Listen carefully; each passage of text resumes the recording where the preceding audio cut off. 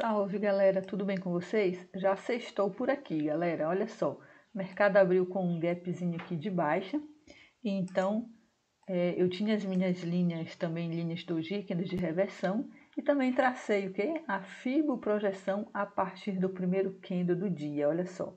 Bateu aí, portanto, cravou todos os alvos, certo? Vou fazer aqui novamente o passo a passo. Tracei a fibo da máxima do primeiro candle do dia, a 61.8 aqui, olha, na mínima, certo? Na mínima do primeiro candle.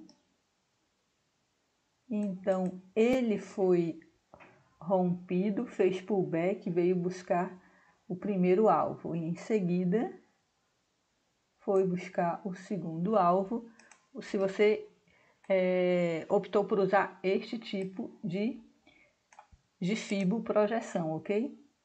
E em seguida, a gente coloca aqui o 38, né? Visto que já foi tocado a, o segundo alvo, coloca aqui o 38 na mínima do candle e olha só, já foi também cravado aí, portanto, todos os alvos batidos, né? Se você optar pela fibra de três pontas, também dá no mesmo, certo? Olha só.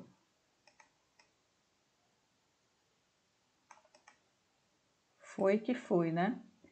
E também, logo quando o primeiro candle do dia surgiu, vamos dizer assim, o que, que você tinha, né? O que, que nós tínhamos operando o mini índice, né? Nós tínhamos um topinho, né? um topo mais baixo do que o anterior. A gente tinha esse fundinho aqui, que você também poderia né, ter traçado a fibo projeção deste topo para este fundinho aqui também. E olha só como cravou até anteriormente, né? Portanto, aí os alvos da Fibonacci. Bom, o, o vídeo era só para mostrar para vocês estes trades de hoje. Tem muito chão ainda pela frente, né? Ainda não são nem 11 da manhã.